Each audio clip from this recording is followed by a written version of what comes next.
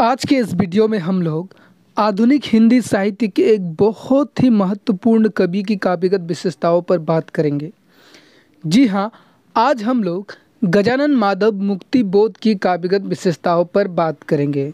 तो विषय को शुरू करने से पहले नमस्कार दोस्तों, दिस इज़ सागर विश्वकर्मा और आप सभी का मेरे way to learning SP channel में बहुत बहुत स्वागत है। तो आज हम लोग मुक्ति बोध की काव्यगत विशेषताओं पर बात करेंगे। जैसा कि मैंने आपसे पहले भी कहा है कि किसी भी काव्यगत विशेषताओं को लिखने से पूर्व हमें प्रस्तावना लिखना होता है। तो हम लोग प्रस्तावना के तौर पर मुक्ति बोध के हल्की से जीवन परिचय, उनकी प्रमुख रचनाएँ आदि आदि को हम उनकी प्रस्तावना में लिखेंगे। तो मुक्तिबोध छायावाद के ऐसे कवि हैं जिन्होंने छायावाद से काव्य रचनाएँ प्रारंभ की और प्रगतिवाद, प्रयोगवाद वो नई कविता तक काव्य लिखी। उनका पूरा नाम गजानन माधव मुक्तिबोध है। वे हिंदी साहित्य के प्रमुख कवि, आलोचक, निबंधकार, कहानीकार तथा उपन्यासकार हैं। उनका जन्म 13 नवंबर 1927 में सोयपुर नामक स्थान में हुआ जो मध्य प्रदेश में स्थिर है। उनके पिता का नाम माधवराव मुक्तिबोध तथा माता का नाम पार्वती बाई है।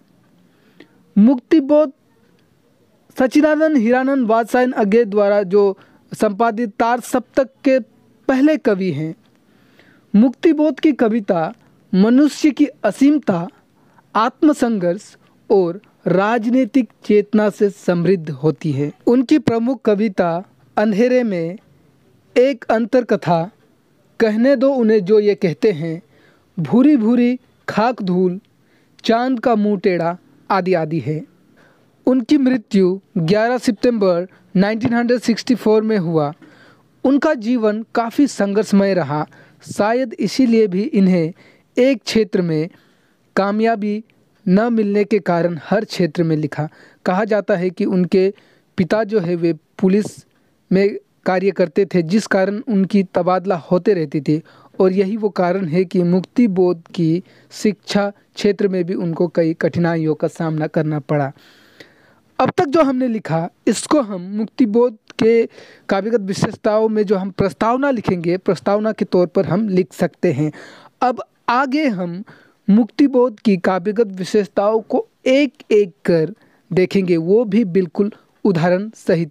तो चलिए उनकी काव्यगत विशेषताओं को एक एक कर देखने का प्रयास करते हैं।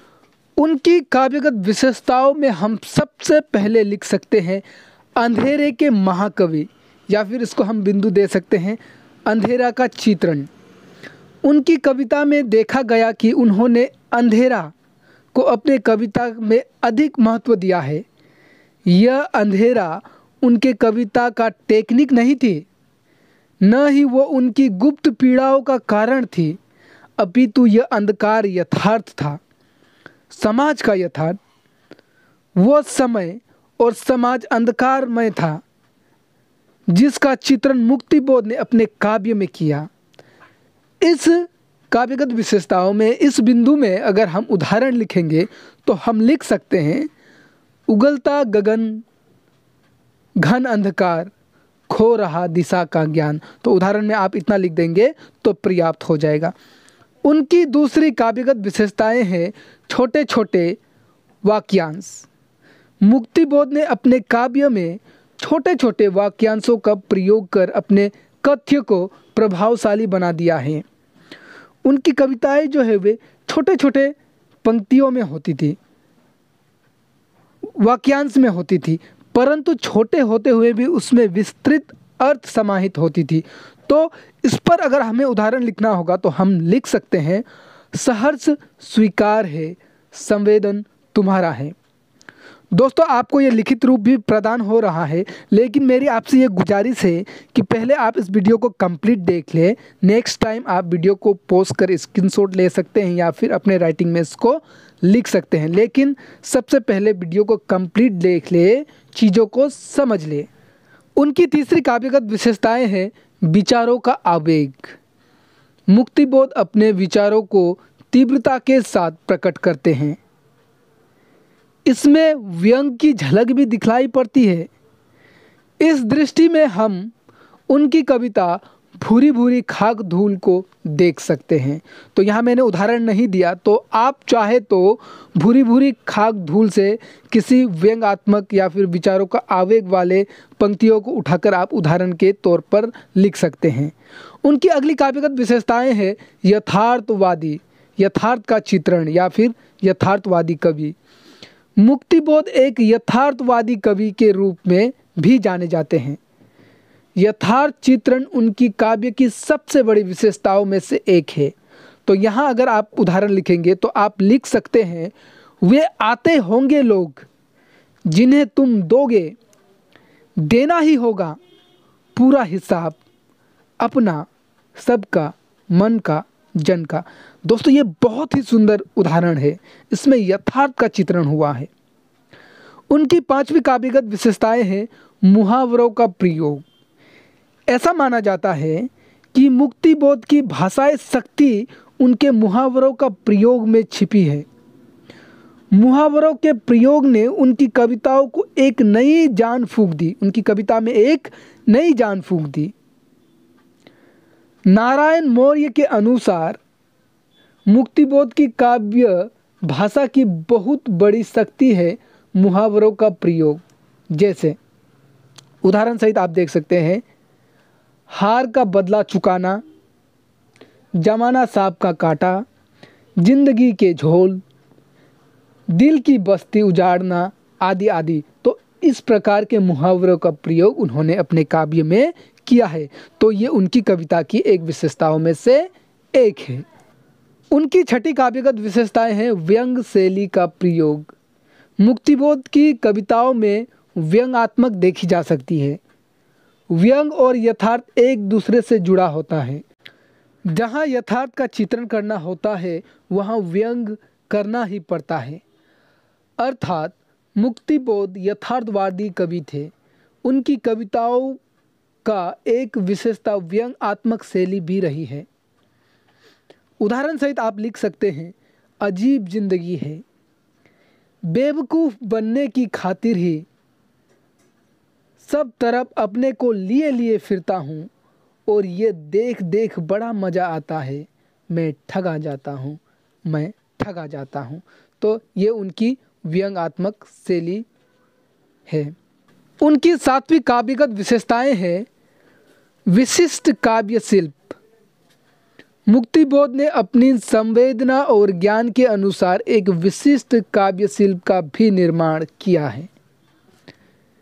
उनकी अगली काव्यगत विशेषताएँ हैं आत्मसंघर्ष के कवि। कवि का पूरा जीवन संघर्षमय से भरा पड़ा रहा, जिसकी झलक उनकी कविताओं में दिखाई पड़ती है। तो आत्मसंघर्ष के कवि के उदाहरण में अगर हम लिखें तो हम लिख सकते हैं, पर उसके मन में बैठा वो, जो समझौता कर सका नहीं, जो हार गया यद्यपि अपने से पर लड़ते लड़ते थका नहीं। उनकी अगली काव्यगत विशेषताएँ हैं प्राकृतिक चित्रण। गगन में सुनहरे कमल मस्करी, चांदनी, अंधेरा आदि उनकी कविताओं में प्रकृति चित्रण भरपूर मात्रा में देखी जा सकती है। उनकी अगली काव्यगत विशेषताएँ हैं, प्रतीक योजना। मुक्तिबोध की प्रतीक, उनके मार्क्सवादी विचारधारा उनके यथार्थ को चित्रित करता है। उन्होंने अंधेरा, चाँद आदि जैसे प्रतीकों को अपनाया तथा काव्य लिखी। अब उनकी कला पक्ष पर बात करते हैं अलंकार विधान। मुक्तिबोध की कविता अलंकार युक्त है। उन्होंने सर्वथा नवीन उपमानों का प्रयोग किया है।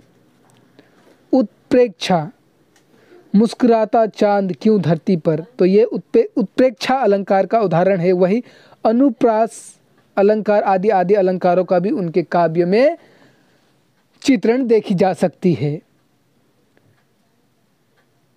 अगली उनकी कला पक्ष छंद रहित कविता। मुक्ति बोध ने अपनी कविता को छंदों के बंधन से नहीं बांधा।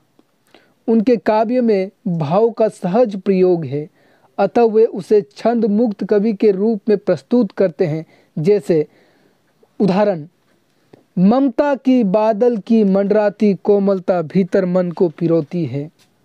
मुक्तिबोध की काव्य की भाषा की बात करें तो मुक्तिबोध को प्राय दुरहु कवि माना जाता जाता रहा है। उनकी भाषा पर उबड़ खाबड़पन अनगणनपन और शब्द बहुलता का आरोप लगाया जाता है। उनकी भाषा में, उनकी कविताओं में मुहावरों का प्रयोग हुआ है। उन्होंने छंद रहित कविता का प्रयोग किया है। तो यही वो कारण है कि उनकी भाषा वैसे तो हिंदी ही थी, लेकिन उनकी भाषाओं में ये सब आरोप लगाया जाता है।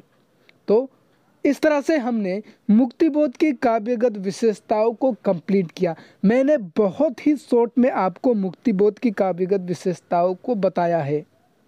अगर आप किसी भी परीक्षा में मात्र इतना लिख देंगे तो काफ़ी होगा। एग्ज़ाम के पॉइंट ऑफ़ व्यू से गहराई के साथ पढ़े तो मुक्तिबोध की और बहुत सारी काव्यगत विशेषताएँ हैं।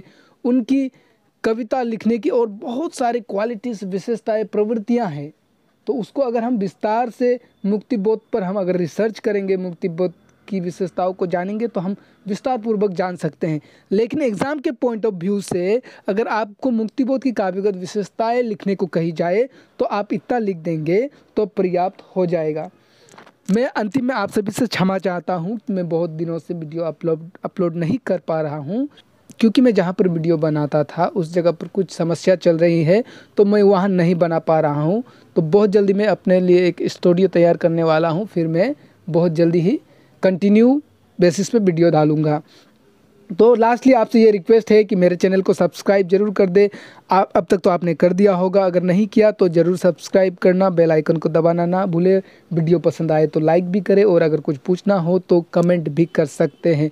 तो बहुत जल्दी अन्य कवि की काव्यगत विशेषताओं के साथ आपसे मुलाकात होगी। तब तक के लिए जय हिंद, जय भारत, नमस्कार।